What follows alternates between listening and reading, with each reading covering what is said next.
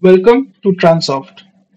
In the previous video, we had looked at the part where we can generate local challans using our software. In today's video, we will be looking at the inquiry section where we can get the details of any consignment with the help of C-note number, challan or bill. So let's go to the inquiry section. So over here we have a filter where we can select whether we want to check by challan number, C-note number vehicle or party mark. So let's say we want to search about any order with the help of C-Note. So let's go back to the dashboard. Let's go to local challan. Let's search by date. So from here, we can just copy the C-Note number.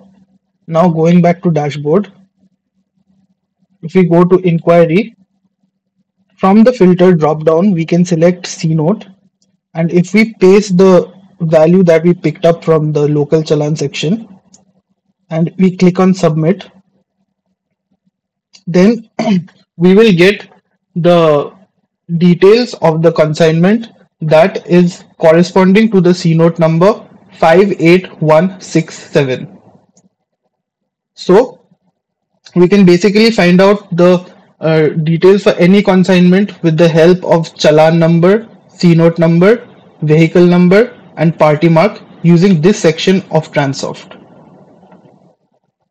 Going back to the dashboard.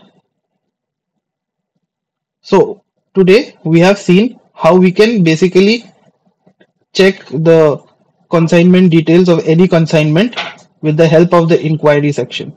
In the next video, we will look at the bill section or the party bills which will help us keep a track of the party bills or the consigner or consignee bills with the help of this software. I hope this video was helpful uh, and I'll see you in the next video. Thank you.